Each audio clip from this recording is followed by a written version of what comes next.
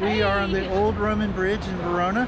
Oh, it's so beautiful. oh my god. Yeah, it is such a beautiful day too. We can hear the river yeah. Uh, underneath us. It's yeah. just uh, crazy. Pretty raging river. Yeah. So yeah, we're about to uh, discover a little bit more of Verona, but so far it is absolutely magnificent. Yeah, let's go.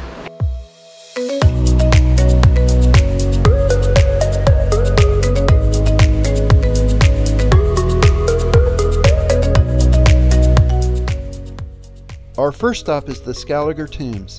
It's a group of five Gothic funerary monuments in Verona, Italy, celebrating the Scaliger family, who ruled in Verona from the 13th century to the late 14th century. The tombs are located in a court outside the church of Santa Maria Antica, separated from the street by a wall with iron grills.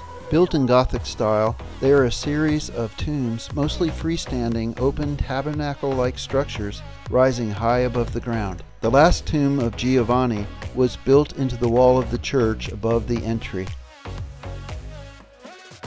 When you're finished visiting the tombs, head on over to Piazza dei Signori. Many historical and architecturally beautiful buildings line the square.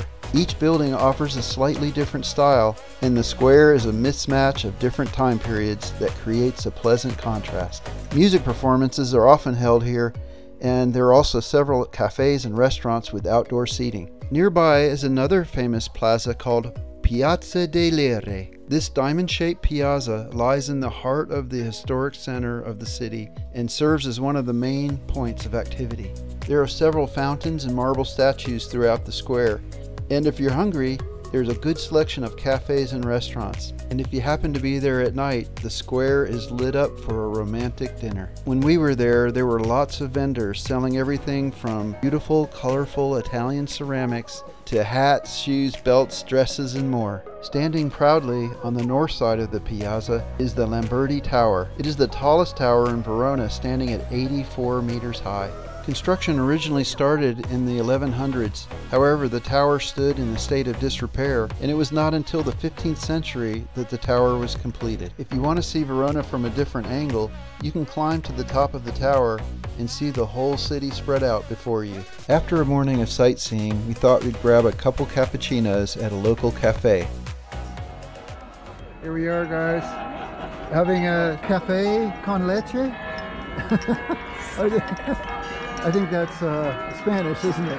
anyway, I got the bells ringing in the back, and we're about to like witness a wedding going on.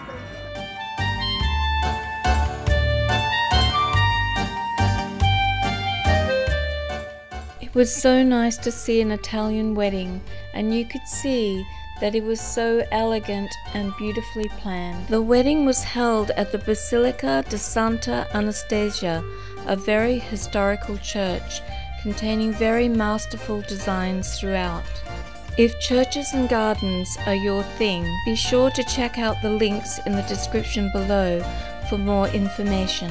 The bridesmaids are ready to go inside and we're off to continue our tour of Verona.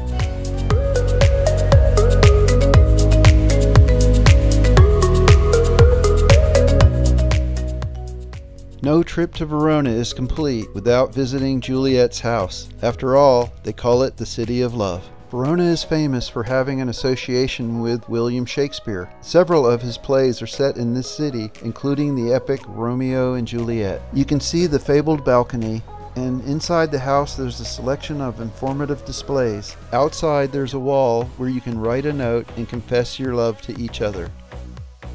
Verona has its own version of the iconic Colosseum in Rome and is just as spectacular and possibly better preserved. Constructed in 30 AD, it is remarkable that this structure has stood in such a fine condition for thousands of years. As the largest piazza in Verona, the Piazza Bra is one of the main tourist areas of the city and contains a great amount of historic buildings, public amenities, and eateries. Sitting on the banks of the river Adige, the Castle Vecchio is a hugely important structure and has stood since the initial construction in 1354. serving as a primary mode of defense for the city. The castle was the greatest achievement of engineering for the Scaliger dynasty. The Castle Vecchio Bridge is attached to the main complex and provides fantastic views down the river. Don't miss the Castle of St. Peter, which sits on a hill overlooking the Adige River. During the 1300s, the actual castle was built as a means of fortification for the city and stood firm for over 400 years. Although the castle is no longer open to the public, you can still walk through its grounds, admire the amazing architecture, and experience fantastic views across to the historic center of Verona. Oh, and make sure you subscribe below to get our next video where we hiked up the hill to the castle and had a pizza at a secret restaurant where all the locals go. When we finished, we went on to the viewing platform to enjoy the amazing sunset over Verona where we took this beautiful sunset picture. There are so many interesting things to do in a new city and we like to cover a lot of them. What are your favorite things to do when you visit a new city? Let us know in the comments below.